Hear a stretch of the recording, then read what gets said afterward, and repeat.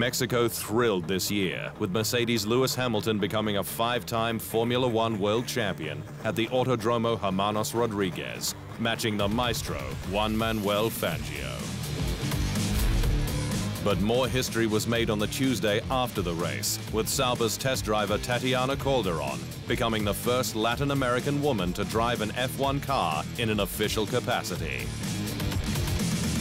And in the team's current C37, the 25-year-old just the second female to get a taste of hybrid-era Grand Prix machinery. Calderon made the most of the 23 laps she completed, taking confidence, precision and aggression into her approach on track. And Sauber's head of trackside engineering, F1 veteran Xevi Pujolar, was impressed with the Colombian young gun's overall performance. She was very prepared. How she had to go turn by turn, how she had to brake, and to see a bit, especially the braking, how Tatiana was going to react. But she did it very well, adapting very well.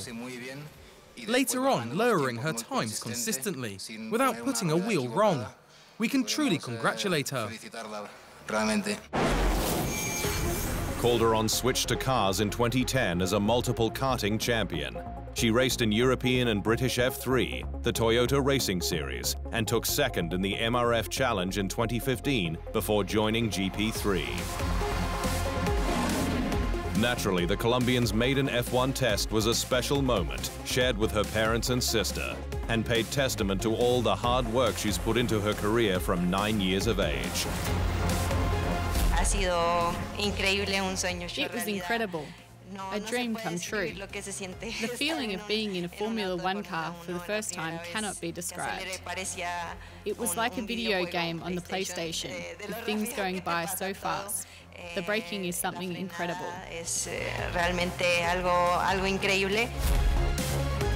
Calderon's goal for 2019 is to move up to Formula 2, one step away from the top as the challenge to become the first female driver to start a GP since Lella Lombardi in 1976 moves up a gear. TheInsideLine.com for everything Formula One.